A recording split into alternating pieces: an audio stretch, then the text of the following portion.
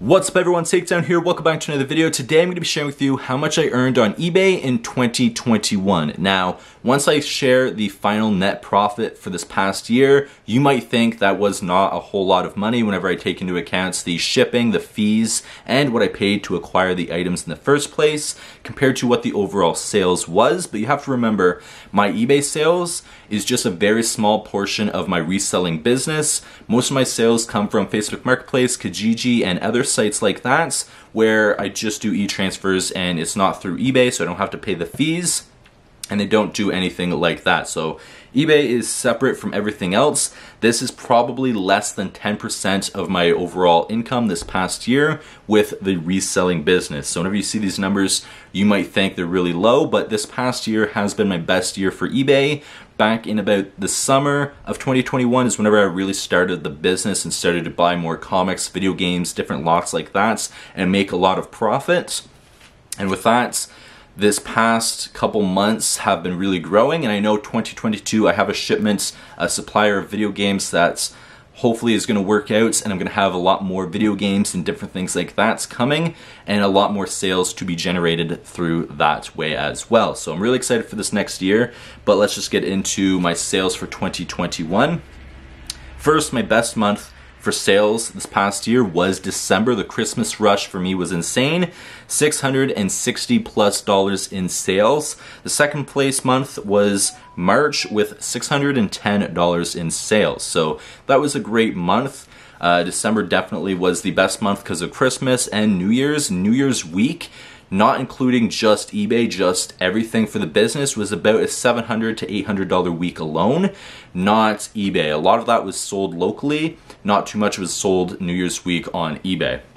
Now let's just get into the breakdown for the whole year. My total sales, which is the items that sold plus the shipping that was paid, is $3,224.50.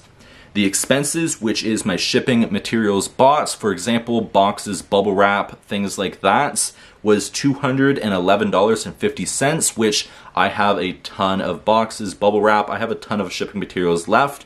So this next year, 2022, I might not have to claim any expenses whenever it comes time to taxes because I might not have to get anything for shipping material wise cost of items, so this is what the items cost me, plus what shipping cost me for all of the sales, is $1,167.53. So with that all being said, now we do have the fees for the year, which is high for some people, but you have to remember it's most of the time 12 to 14% depending on the items. That's also if you don't do a promotional uh, percentage as well, which eBay will get a portion of that as well. So fees for the years that I did pay, $466.96, just shy of $500 in fees. Now the fees for eBay is what scares most people away. For me, they don't because my net profit this past year, whenever I take into account the $3,224 in sales, minus the $211 in expenses, the $1,167 in the cost of the items, and the $466 in fees, leaves me with $1,378.51 total net profit sold on eBay this past year. So for 13, almost $1,400 profit this past year, a lot of people might think that wasn't worth it. For me, I do because my eBay sales, like I said, are maybe one tenth of my overall sales for my reselling business. I sell most of my stuff on Facebook Marketplace, Kijiji, and other sites. eBay is just one of those sites that I do use, and that's because the eBay fees. So if something locally I might sell for $25, but on eBay I might be able to get 50 plus dollars, I'm likely to list it on eBay. Even if I pay the fees, I made more profit doing that. And that's usually what I'd use eBay for.